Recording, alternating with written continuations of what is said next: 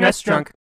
Let's dive in one more time into the world of laughably expensive NES games. Here we have Cowboy Kid made by Pixel, a dev team that had a hand in a few other NES titles like World Champ, Fantasy Wars, and Baseball Stars 2. However, those cartridges haven't adopted the moniker of collector status symbol the way Cowboy Kid has, with that cartridge going for around $250 loose and $500 complete in the box. So what is this game, and is it actually any good?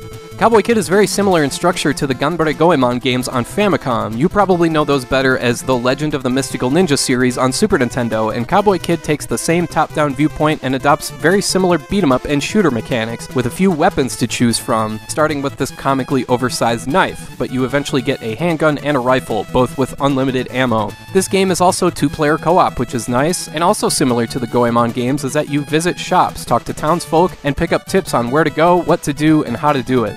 The way the structure is set up here is that you have kind of an introductory stage that helps uh, introduce the game and gives you a notion as to what to expect. Go into the first door here, and the guy gives you a knife. With that, you can open up treasure chests, which seemingly give you an unlimited amount of money you can collect. Just leave the screen and come back, and they're full again. Okay, whatever. You eventually get to the last door, and you've been doing such a great job so far that you're immediately made sheriff. Well, that was easy. From there, you've got six different outlaws you can go after that have all settled in six different areas. Defeat those six, and you've got one last outlaw to capture. You collect money in these chests here and buy items that can help you reach new areas, or just keep you from doing too much backtracking. In one instance, in Slash Joe's area, you have to go down into this basement and find a key, and once you find it, you can use the ladder to warp out of there instead of going all the way back, so that's a nice touch. You don't have to buy these items, you can play as is, but they are helpful. Also, at the stores, you can buy health replenishments, armor upgrades, and a map of each area, which is really helpful and kind of uncommon for games of its time, so I really appreciate that it's here. Just press start and then the A button to see it.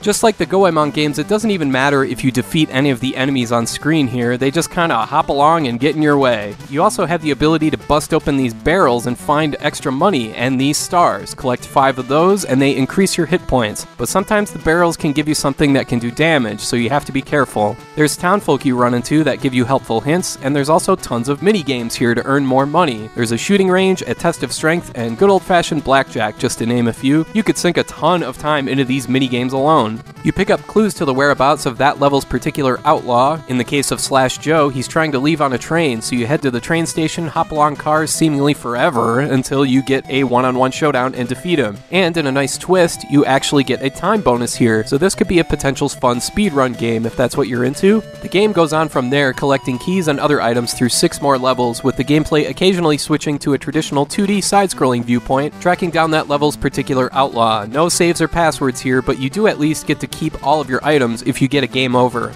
There are some flaws here I need to address, however. One is that the hit detection in this game is absolutely awful, especially in the top down areas. Thankfully, this game is very forgiving when it comes to damage and health, but geez Louise, getting hit by all these randos is seemingly, well, random, especially when you have the knife to start with. It's really a downer. I will say combat does get to get better when you get the gun later on. Another flaw is that this game is crazy unbalanced. Remember the stars I mentioned earlier? You can sit there and grind and knock open barrels, leave the area, come back, and keep knocking open those same barrels until you've got your full allotment of health, right when you start the game. You can do the same thing with money as well. So, uh, yeah, if you're expecting a challenge, there's not much of one here because that kind of stuff is so easily exploitable. I will say, for what it's worth, some of the boss fights can be really tough regardless of how much money or how many upgrades you have.